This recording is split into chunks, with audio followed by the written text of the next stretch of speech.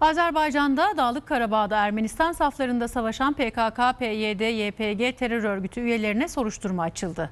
Azerbaycan Başsavcılığından yapılan açıklamada Aslan Murat Vartanyan ve Bese Hozat'ın çağrısı üzerine Livan Karadağ, Hemaran Kervaçiyan ve Servet Bagopşin elebaşlığında Suriye, Lübnan ve Irak'ta yaşayan PKK, PYD, YPG terör örgütü üyelerinin yasa dışı yollarla işgal altındaki Azerbaycan topraklarına geldiğinin belirlendiği kaydedildi.